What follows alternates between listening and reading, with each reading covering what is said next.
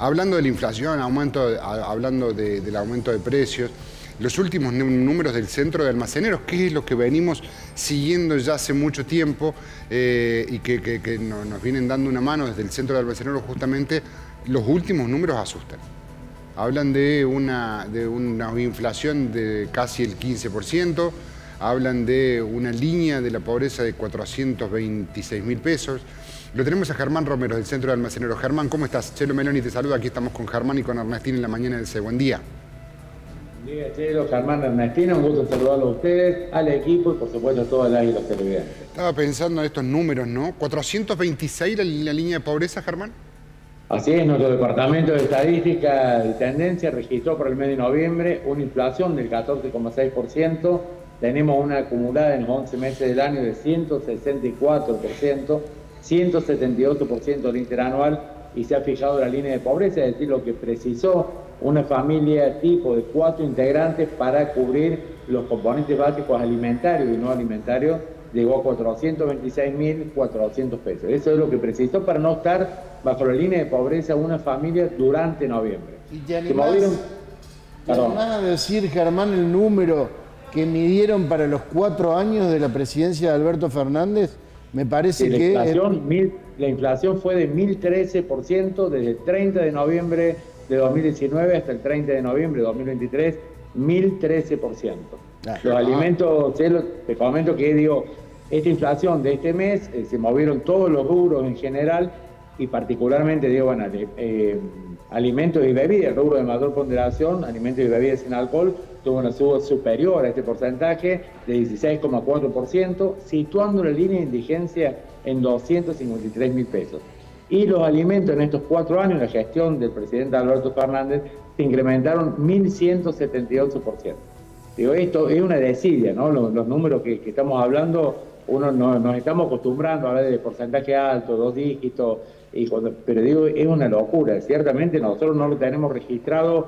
A ver, nuestro centro tiene casi 120 años, el Departamento de Estadística tiene 14 en estos 14 años y más atrás tampoco no hemos registrado, recién hay que remontarse al año 91 para hablar de valores similares de inflación. Obviamente que esto repercute, repercutió y sigue repercutiendo en la sociedad toda, ¿no? Una parte del informe, digo, nosotros tenemos la parte económica y la parte social también, donde medimos con distintos indicadores, distintas encuestas, lo que está ocurriendo principalmente con la alimentación. Eh, y decimos eh, también eh, cómo se movieron los alimentos. Sí, no, para consultarte, mencionás esta parte social. Quiero consultarte qué opinión te merece las respuestas que dio Alberto Fernández el fin de semana con respecto a que la pobreza estaba mal medida por el INDEC, cuando en las últimas horas la UCA, la Universidad Católica Argentina, indicó que aumentó casi cinco puntos en la pobreza en esta última parte del año en relación al primer semestre del año que marcaba cerca de un 40% de personas pobres y un 56% de niños bajo la línea de la pobreza. ¿Qué lectura haces de esto teniendo estos datos en la mano? Con toda sinceridad, con toda sinceridad, creo que el presidente hace tiempo no está consustanciado con la realidad, ¿no? Eh, decir que la pobreza está mal medida es mal, la pobreza está atrasada, es decir, es decir, esto que va a dar la es hasta el mes de septiembre Octubre y noviembre particularmente fueron meses muy inflacionarios donde seguramente se acentuó la pobreza, obviamente que lleva un trabajo, por eso estamos viendo las fotos viejas. Creo que el presidente no solo se equivoca, digo, me parece que está fuera de la realidad, digo, porque si ese fue el sentimiento, la sensación durante su gobierno, quizás por eso los eh, números de la pobreza y la indigencia vienen creciendo. Yo les quería comentar justamente qué pasó con los alimentos en estos cuatro años. Eh, digo, todos los alimentos han aumentado entre 1.500 y 2.300%, en general los alimentos básicos, para no detallar uno por uno. Pero sí quiero centrarme en lo que pasó con el consumo de estos alimentos en estos cuatro años. el asado vacuno cayó un 53% el consumo. La carne para milanesa un 58%. El osobuco, el puchero, el clásico, cayó un 37%. El pollo un 17%, digo, el pollo es lo que más se consume porque es, o era más económico que la carne, sigue siéndolo 17%. Cambió, digamos, lo que subió en estos cuatro años fue la menudencia de vacunas, hígado, mondongo, rabo. Yo no podría decir que tiene eh, algo nutritivo, un 46%. Los menús de pollo, hígado, panza, cogote y alita aumentaron un 66%.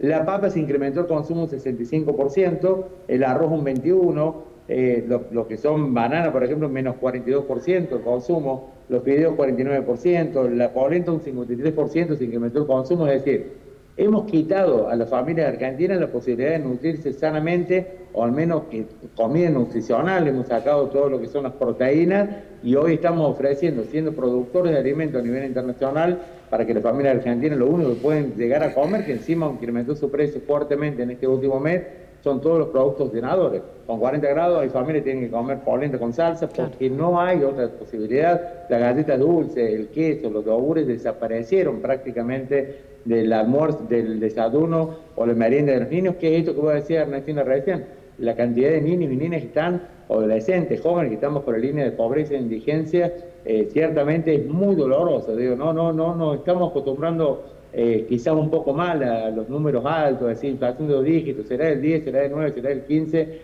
atrás de cada porcentaje todos los días hay familias, incluso trabajadores y trabajadores que están registrados en blanco, que estamos con la línea de pobreza y algunos, incluso trabajadores informales también, estamos con la línea de indigencia. Y eso duele y efectivamente genera mucha bronca lo que dice el presidente, presidente de los argentinos, eh, que desconozca el nivel de pobreza en que estamos y en qué situación nos deja el país a partir del domingo.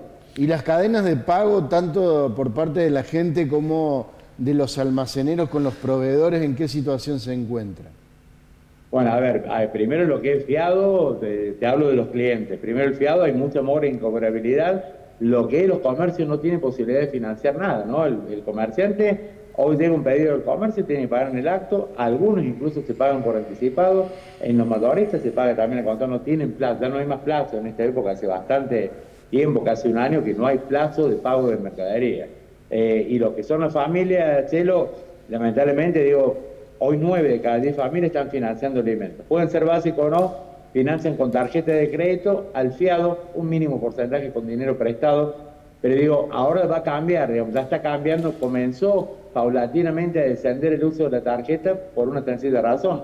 Eh, los cupos están saturados, las familias están endeudadas con la tarjeta de crédito, pagan solamente el mínimo, están pagando altísimos intereses entonces muchas familias van a están empezando a dejar de usar la tarjeta, se trasladan al fiado, pero también hay que ver la posibilidad de cuánto, cuánto puede aguantar las pequeñas unidades comerciales sostener este método de financiación. Entonces, aquí la familia... Porque va sumando, va sumando deuda.